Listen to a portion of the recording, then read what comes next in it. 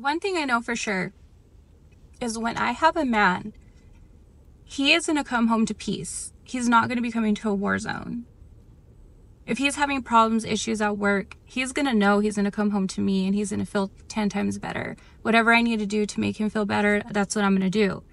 We could lay down together while I rub his head. Whatever he wants, I'm going to make sure he's feeling better men go through so much and they don't like to say what is going on with them. They act like everything's fine. Just make sure at the end of the day, when he comes home to you, it's not a war zone. He's gonna know everything's gonna be okay. Like once he sees you, everything just goes away. All his problems, everything. Just make sure you treat that man right, especially when he is being a man to you. You want to get cut out quick? Talk to a man any kind of way. Cussing at him, insults, whether it's targeted at his ego or his manhood.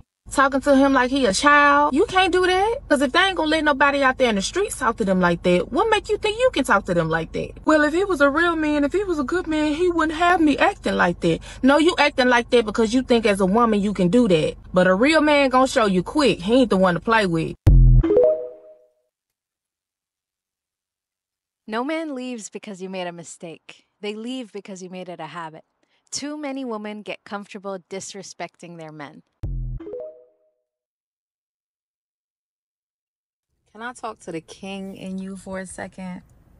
I just want you to know that you're special. I just want you to know that you are worth loving, that you're unique. You're not average. There's nothing mediocre about you. You're actually worth something. So I need you to stand in that. I want you to embrace that. I want you to be the king that you are. Not because I said so, but I want you to know that it's inside of you. It's not on you.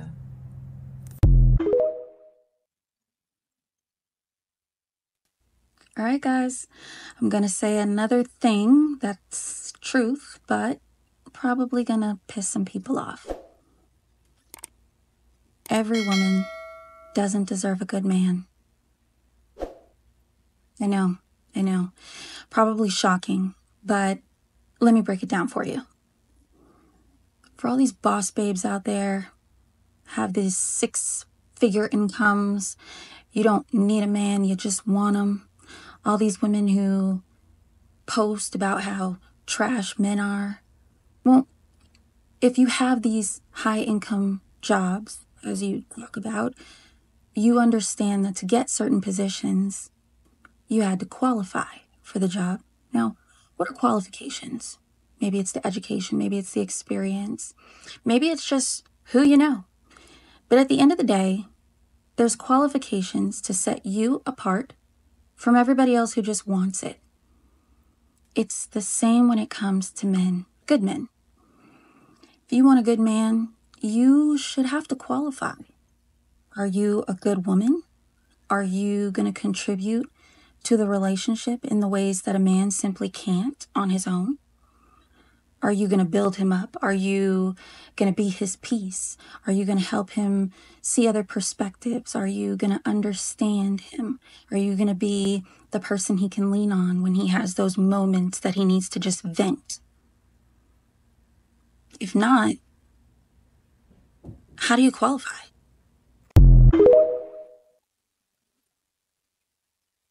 Fellas, don't walk but run and go get a paternity test. Because a woman will mess with you and be already pregnant. She said, oh, who's the weak link? Him right there.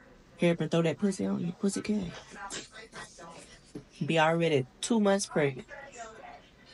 You wonder, like, the baby come kind of early, huh? Better start doing that math. That baby come kind of early, huh? That baby a good little size.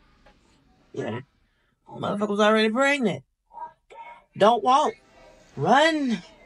Go get them babies tested. Look at paternity court. Look at all them women that was lying to their kids. Talking about, he didn't call you, he didn't love you. Putting all them negative thoughts in their kid's head. He didn't love you. They ain't even they goddamn that. Why do some black women require a man to make a hundred thousand dollars? That's all that you're really hearing on social media that a man has to make a hundred thousand dollars. I don't know where that figure came from, some of these women aren't even making a hundred thousand dollars. It's kind of weird. But why don't these same women, when they go and date a stud, why don't they require a stud to make a hundred thousand dollars? And some of those relationships, these same women that want a man to make a hundred thousand dollars are sitting up in relationships with studs and taking care of them. Make it make sense to me. I said what I said. And my name is Shalakemia. One thing about me, when I date a guy, I love to hype him up. I love to pour all types of love into him. I love to tell him how good he look, how good he smell, how his arms look good. I love to pour love into my man so that when he goes into this world, he is confident and he knows he is loved. And if he does try to talk to another chick, that's all right, baby. Cause guess what? She gonna send you right back to fuck home because once she see who the fuck you really are and how you really ain't nothing, she gonna send you right back home. And that's just to prove to you and teach you, baby, don't nobody want you but me. Okay. I built you up and all that so you can have that confidence for the world so that you know you ain't gonna get no love like Big Mama Peaches love. So stop with all the foolery, okay? I like you. I want you. Nobody else. They don't want you. I do. So so stop, all right? Just come and be my king and settle on down. Settle on down. Listen, no man wanna ran through kitty. So if you're a kitty been ran through and everybody know that you've been passed around and the man know that you're easy, he's just gonna be using you. So you're just gonna be on his roster and he's gonna use you. No man want a woman that he can't walk proud with in the street. Or he could look at and be like, you know what? I really like her. Or she's a nice girl and nobody had her. Everybody, every man want that one woman that nobody touch. So you think hoeing out here will work out for you in the end? No, it's not. So before you go get ran through, train, or you have a bunch of baby, and um, just remember, your odds are lessened. So don't try to think you're gonna be ran through by the community or every man done had you, and now you want to settle down. You didn't know you wanted to settle down before you got ran through. So I'm gonna say it one more time. Don't get ran through because your odds are lessened. Okay? Never underestimate men. Men are much smarter than you think. Men are so smart that they treat you how they view you. Let's talk about it. Men don't take women to five star restaurants who don't look or carry themselves like a five star chick. Let's be realistic. A man don't give you first class treatment when you carry yourself in a very low class manner. Why would he? A man is not your father. Therefore, don't expect him to do things for you that your own father never did for you. First experiences usually come from your father. High value men don't take unexposed women to high end places. Due to your lack of exposure, he's afraid that you won't know how to behave and sees you as a risk factor. Smart men don't have intelligent conversation with unintelligent women. They know that you can't relate, so they keep the conversation relatable and childish because he knows that you are temporary. Therefore, make sure that you are a reflection of your requirements and your expectations.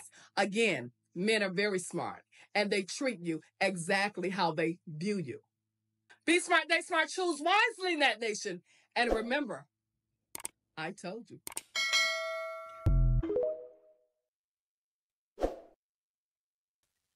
So I just listened to a woman come on here and say that a man who pretends to be broke and then ends up actually having money is a red flag. So let's follow the bouncing ball. Why? Is it because he lied? Because women lie too. I mean, if you show up to a date and you're not in your natural state, you're lying. That's not what his children are going to have the makeup of, right? Okay. Or is it because you want to know how much money he has so that you can make sure you get some of that? Because if he has money, he needs to be taking you somewhere else. If you went on a date with a man and you thought he was broke and you were cool with it, then why would it bother you that he has money? It's none of your business. If you're not married to this man, what he has in his bank account, it's not yours. Like, you don't, he doesn't owe you anything.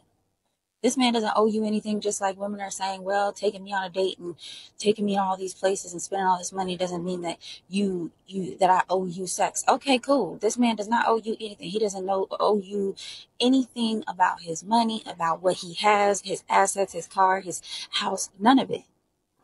You can't have it both ways. You can't have women out here get to do whatever they want to do, held to no standard, and then men are supposed to be out here to be a victim. You are the women he's protecting himself from. Congratulations. Now he knows. One of women's major complaints today is that men up to date don't act like men back in the day. They don't take their time out to court women anymore. They're not intentional about seeking out to be in a relationship with women. They're shying away from commitment. They don't really care to protect women. They don't care to provide for women. They don't care to tolerate women at all unless it's just sexual. And nobody can seem to figure it out. Well, I got the answer.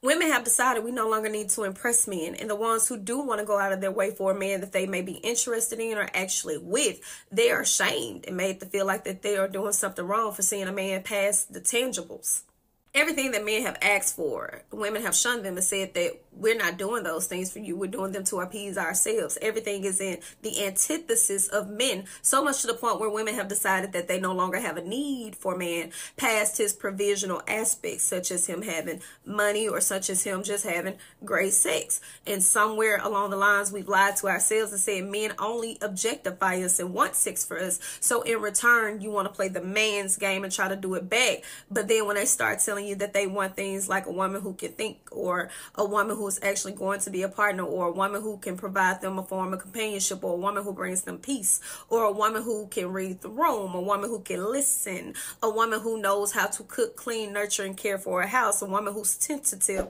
All of those things seem to be off your radar. We've taken cooking and cleaning and equated it to slavery, which I have no idea why we would be so disrespectful to our ancestors because slavery was not just simply house chores. We've taken something so simple as, hey, maybe you're overreacting to, oh, he's gaslighting us, calling them narcissists, and disregarding all of their boundaries, even so much as the clothing. There is nothing there left to the imagination because everything that he may aspire to get, so can every other man. See, it's so easy to see a woman post her ass and her titties on the timeline or even walk outside with everything on but the armor of the Lord. And when he asks for a picture, all of a sudden you tense up like he just wants to objectify you when actually you're just confused and you're not consistent with the message that you're sending women have found a way to say we don't need to impress men men need to impress us but when they tell you what they want you call them bad bitches you say that they want to be the new women when they express their disdain or certain hatred, you call them sassy. Nothing is ever just introspectively saying, hey, maybe I don't act like my mama. Maybe I don't act like my grandmama. Maybe I don't act like my aunties because you thought those women were weak in order to keep a man. You thought that they were a pick me, but maybe it would be wise to take a page out of their book because they had a far better success rate with getting men to do exactly what they needed them to do, simply honoring their word. We've lost the plot. Women no longer understand the power of the P, if you know what I mean. Some would say that men found their worth. That's why they have stopped doing things for women because it's so easy to get out of you nowadays. So maybe when women start to be a little bit more impressive towards men again and they start doing all the things that men desire in order to get a woman, we could have them like put it in our hands. Start being impressive. you wouldn't complain about what a man don't do for you.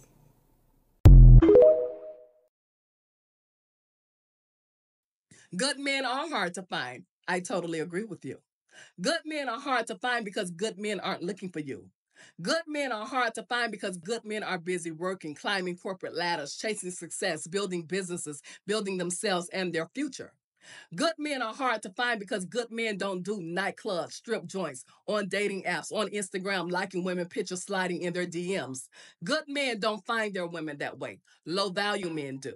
Good men are just like good women. They are very selective in their personal search. They're not turned on by women with big butts, big tits, and who have the intelligence of a rock. Instagram models do not impress them. They have outgrown that phase of their life. Good men don't settle down with women who are not in alignment with their future goals. Good men do not settle with women that they can grow with and become their best self because they know selecting the wrong woman, just like selecting the wrong man, can be detrimental to their success and their overall well being. So, yes, I totally agree with you. Good men are hard to find because good men are setting themselves up for a good woman to become a good husband. Be smart, day smart, choose wisely, that nation. And remember, I told you.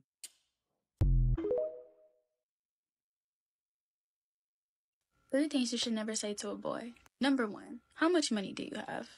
How much money they make has nothing to do with you, honestly. Like, it's really annoying when people are like, oh, how much money do you make? Oh, well, you don't have enough to support me. You know, I thought we passed those times, those traditional roles of women and men. But it also depends on the circumstance as well. Like, if y'all been together for a long time, then okay, yeah, it's cool to talk about money. But when you first start dating, why are you worried about what's in their pockets? Gold digger! Number two, you're so emotional. I just feel like you shouldn't tell boys they're emotional. I feel like they already go through enough, like literally with society. They're like, oh, well, boys have to be tough, boys have to be strong. Mm, no, they don't. And just because you're showing your emotions does not mean that you're being soft or emotional. It just means you're being human. And if somebody tells you otherwise, then they're wrong. Number three, you're so short.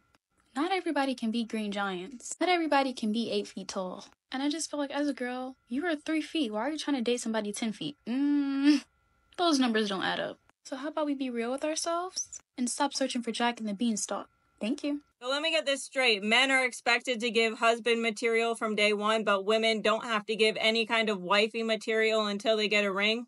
So let me get this straight. Men are expected to provide, protect, give you security, still take you on dates, pay for everything, give you husband treatment, maybe go get your oil changed, all of the things, fix stuff around your house or your apartment, take care of you, but you don't want to make the man a sandwich because you're a girlfriend and that's wifey duties. That is the stupidest advice I have ever heard on the internet and the stupidest double standard that has ever come into history in a very long time. That's like saying that if you're in an abusive relationship where he beats your ass every single day, that suddenly he's going to change his mind and he's going to change his behavior the minute that y'all are married. How that relates to no wifey duties is that men can't expect you to just organically fall into these wifey duties just because he decides to marry you. And why would he want to marry you if you're incapable of just showing human decency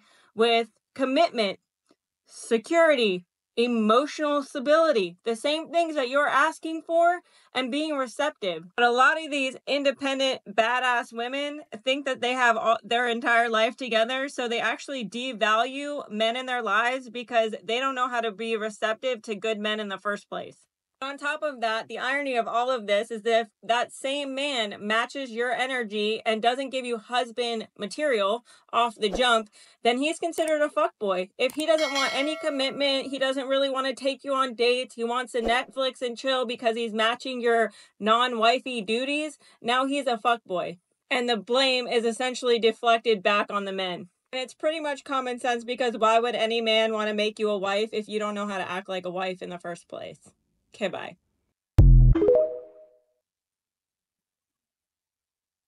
I am not the most perfect girlfriend. I'm not a 10 out of 10, but I'll treat you right. I'm 100% loyal. I'll pick up the house while you're at work, make sure you come home to a home cooked meal, and you'll always have some dessert to eat afterwards, if you know what I mean. May the force be with you.